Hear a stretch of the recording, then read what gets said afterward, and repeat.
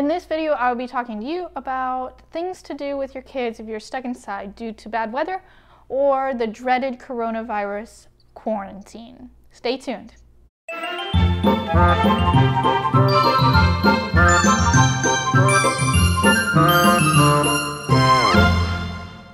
Hey sitters, welcome back. It's Lydia. Thanks for joining me. Today, we're in the middle of March 2020, and as you know, um, there's been the coronavirus, which means things are shutting down, and uh, that includes school. So kids are out of school, but some parents still have to go back to work. That means you would be called in. I wanted to give you guys some ideas on things to do inside the house, whether it's due to bad weather or you may be in an apartment complex and, and just can't get outside due to quarantine. These are some ideas for you. Bringing back to the classics, you've got hide and go seek, you've got bu building a tent, um, balloon volleyball, uh, storytelling that you could do. Then you have your tabletop games such as Life, um, Chutes and Ladders, uh, Candy Land, all of those fun original board games. Um, our, my favorite and the kids' favorite that I play with are is Jenga. We put a little twist on our Jenga. We write on, well, I write on the little um, pieces. Uh, what are they? Challenges to do. So this one says solve 5 plus 3. So they pull it out of the, the piece, they do it, and they put it back on top.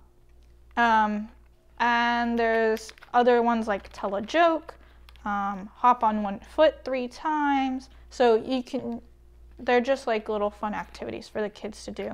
That's our favorite when it comes to tabletop games. Next is kids crafts. Um, you can string beads together, you can make um, flowers out of pipe cleaner, uh, simple stuff like that. I just recently did a video on kids crafts.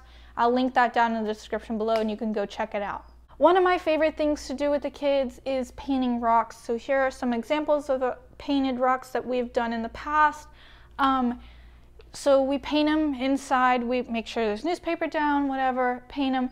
And then if, if weather permits and you can go for a walk, I don't know if you guys have it, but where I'm from, um, there's this thing where people hide rocks. If you find the rocks, you post it on our Facebook group page.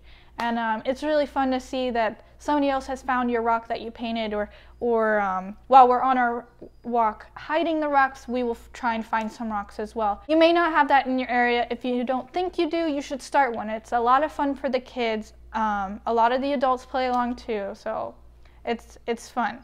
So whether it be the coronavirus that's got you stuck inside or bad weather, these are some ideas for you to play to do with your kids while babysitting. If you guys have any other ideas, please leave it down in the comments section below. I'd love to hear them. Let me know if you have any questions.